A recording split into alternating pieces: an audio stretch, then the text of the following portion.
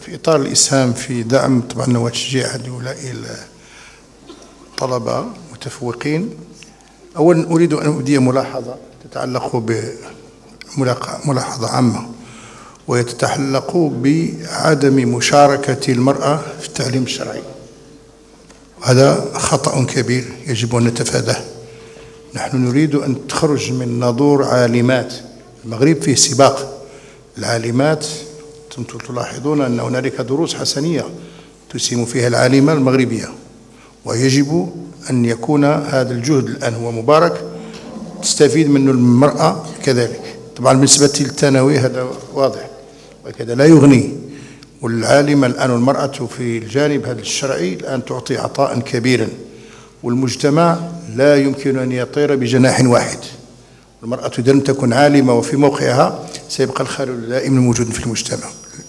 لأن المجتمع هو هذا والمرأة الآن الواعظة المرشدة هذا مرحلة. ولكن نحتاج إلى المرأة العالمة المفتية التي التي فلذلك أرجو أن يفكر المجلس العلمي وكل من يعنيه الأمر.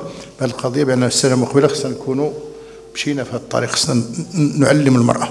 لأن هذا الخطأ الذي ارتكبناه قديما ونحن نكرره الآن وكثير من الناس يتحملون قضايا المرأة وهم لا يريدونها إنما يريدون نحن أولى بأن نتحدث عن المرأة.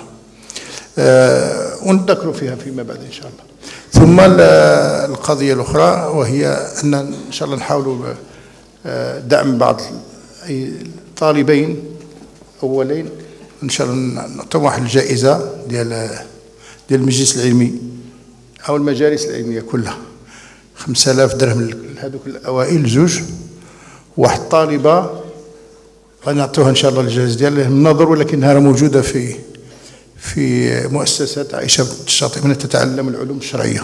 هي دي هي هي ديال النظر ولكنها موجود. غادي نعطيو لها إن شاء الله باش يكونوا اللي يستافدوا هما ثلاثة.